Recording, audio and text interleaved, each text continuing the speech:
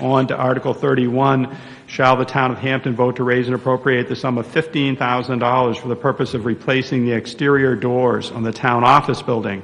The doors would be replaced by sliding doors to prevent wind damage, wind damages that are con- are a continuing problem. Maintenance of the doors mostly from wind damage, has cost a sum of $11,153 since 2009, and expenses are continuing. Majority vote required. Recommended by the Board of Selectmen 4-0. Recommended by the Budget Committee 8-0. Fiscal impact note, the estimated 2018 tax impact on $15,000 is 5 tenths of 1 cent per thousand dollars evaluation. Is there a motion to open discussion on Article 31?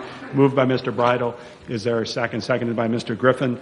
Uh, Mr. Bridle or Mr. Welch, uh, do you wish to be heard on Article 31?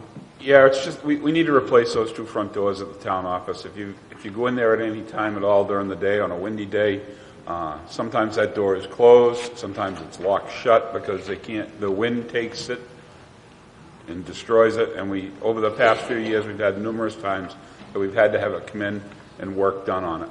By putting a sliding door in, the wind won't, at that point, be able to catch it, so you won't have that problem of, of the wind damaging the door, so. All right. All right, anyone else wishing to be heard? Seeing none, Article 31 will appear on the ballot as printed.